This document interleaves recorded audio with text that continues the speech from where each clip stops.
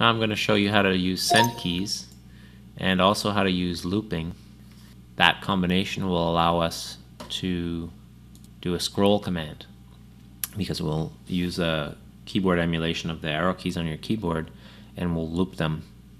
This is great if you have um, a bunch of albums and you want to scroll through them. You don't want to have to keep saying down, down, down. You can say scroll down and then tell it to stop. So let me start just by showing you some simple keyboard emulation.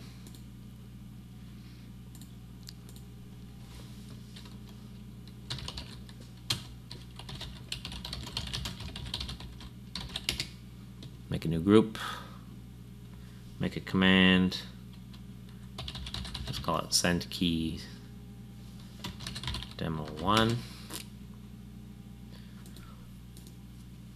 And We'll use uh, this phrase.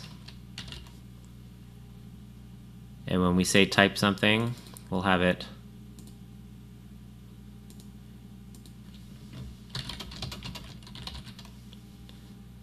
we'll have it type out this is a test. So it'll send send keys, it'll emulate as though you had typed this on your keyboard and send it to whatever program has focus. And I'll just use Notepad.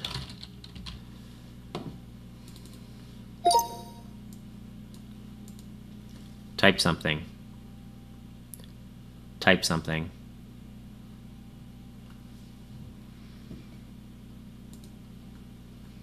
Now, this is a quick way if you want to be able to throw in some uh, the ability to do dictation in any program.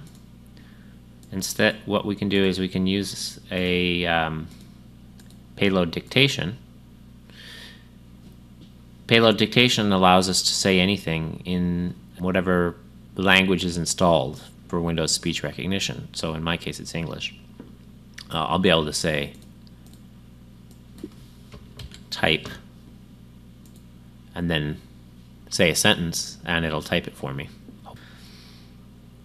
And instead of sending this as a test, We'll tell it to use payload 1.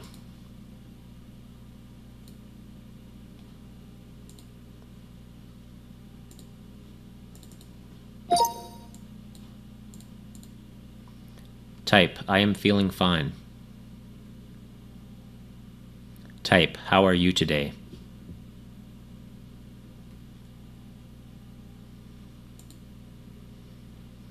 And you can see here how the alternates work as well. Um, with payload dictation, there's a lot, you know, it's, it's often not 100% sure about what you're saying, so you'll see it's popping up these other options. Let's, let's try this again. Type, how are you today? Option 2. Type, I'm feeling fine.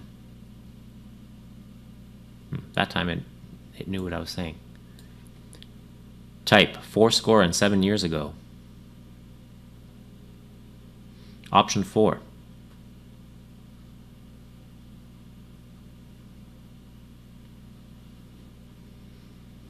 In any case, you can see that this works. So what we're doing is we're triggering with this phrase, and then whatever we dictate is treated as um, payload 1 and we're sending payload 1 to send keys.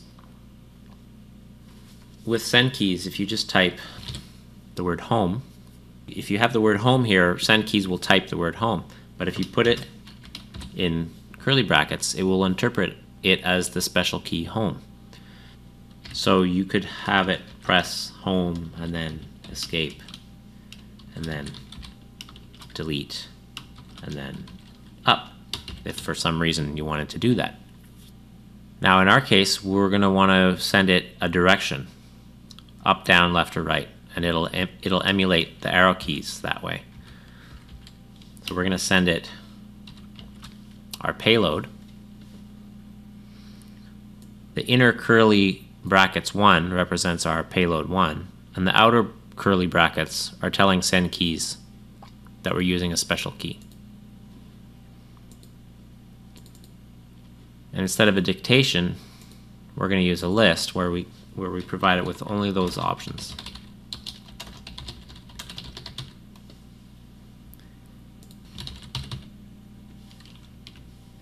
So I'll be able to say press up or press down, etc.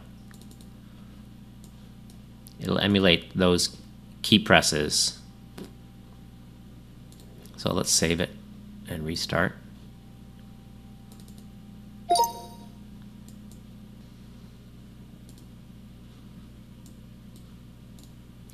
Press right.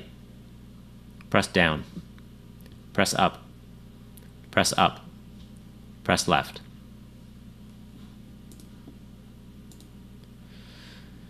So that works. But instead of doing a simple press command, now we'll add looping to turn it into a scroll command. So I'll change the phrase to scroll. And we'll edit the command and we'll tell it we want to loop. We'll give it a delay of a quarter of a second, 250 milliseconds. We'll tell it to go a maximum of 30 times and then bail out of the loop, just in case.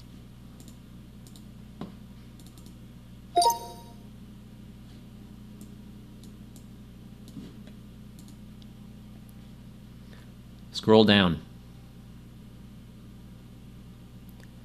Scroll left. Scroll up. Scroll right. Stop. Whoa.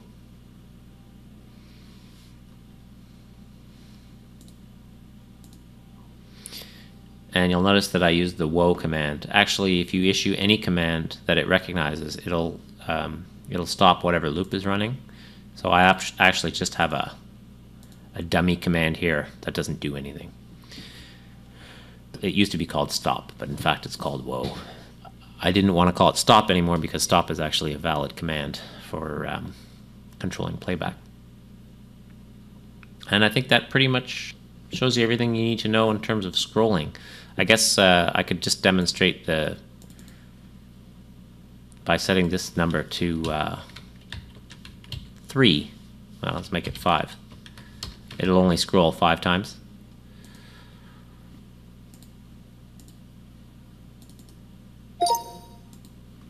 Scroll right. Scroll left. Scroll left.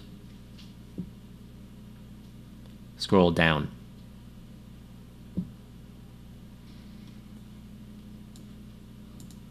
And uh, I'll also point out that when a command has looping enabled on it, it'll be shown in blue. So that makes it a bit easier when you have a bunch of different commands in a group that it'll highlight the ones that scroll.